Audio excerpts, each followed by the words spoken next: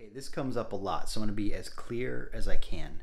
You are already worthy. You don't have to earn art, truth, love, beauty, inspiration any more than you have to earn gravity or sunshine or thermodynamics. It's a fact of life. And the fact is, you're already worthy. Anybody that told you you've got to earn this somehow is playing a game with you. They're trying to sell you something.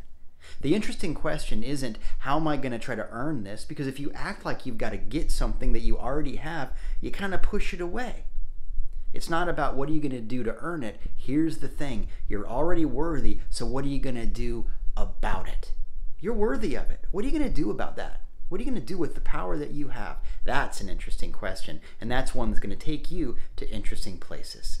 Keep the questions coming. Come find me at waypastokay.com.